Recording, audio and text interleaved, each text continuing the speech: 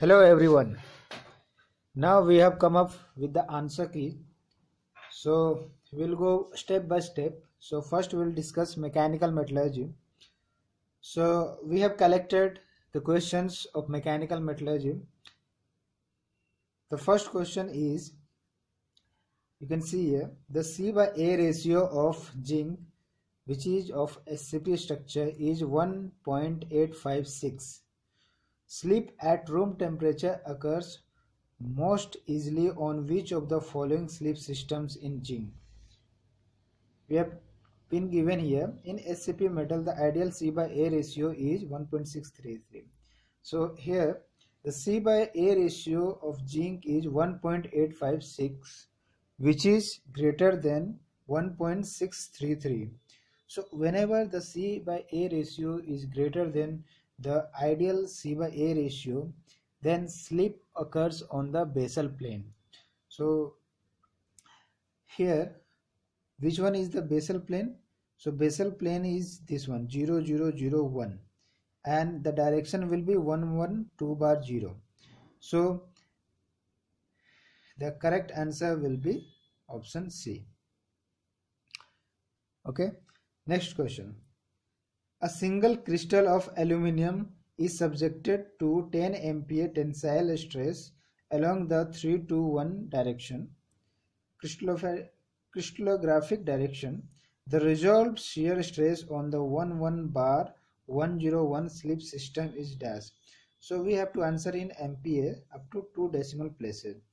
So here you can see here in the diagram so the tensile stress acts in 3 to 1 direction and this is the slip plane and the slip plane has got the normal 1 1 1 bar as given here and the direction of slip is 101 since we have to calculate the uh, critical resolved shear stress the resolved shear stress.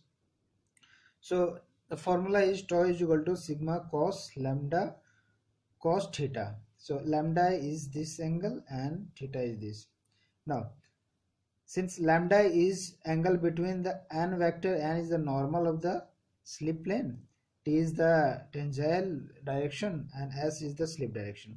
So lambda is between n and t. So we'll find according to this dot product n dot t is equal to n modulus of n modulus of t cos lambda. So if you multiply n and t n and t so this will be 3 uh, 2 and minus 1 so 3 2 minus 1 is equal to uh, modulus of n that will be root under 3 and this will be root under 14 into cos lambda. So here we come and we get cos lambda is equal to 4 by root under 3 root under 14 so similarly for theta also we'll uh, do the same calculation taking the two vector t vector and s vector. So t dot s vector is equal to modulus of t s cos theta. So plus 0 plus 1 is equal to root 14 root 2 cos theta. So you can see here. Now these are the calculation parts. So here we get cos theta is equal to 4 by root under 14 into root under 2 so tau is equal to sigma cos lambda cos theta. So we'll put the values from here cos theta and cos uh, cos lambda and cos theta. So 10 into 4 root under 3 root under 14 uh, this multiplication. After this we'll get the answer tau is equal to 4.66 okay? We have been given here the tensile stress strain curve of different kind of materials and the different kind of materials are listed here. Polyester second one is the high purity copper. Third one is the metal. And fourth one is the soda lime glass. Now here we have been given uh, the stress strain curve. So this is for p material q material r and s so since we have to match this p with the different kind of material this q and this q belongs to which kind of material? Now here we know polyester. Polyester is basically a polymer material. So a polymer material has got stress strain curve like the curve which is shown as s here. So first one will match with s okay? So let me write here. One will match with s okay?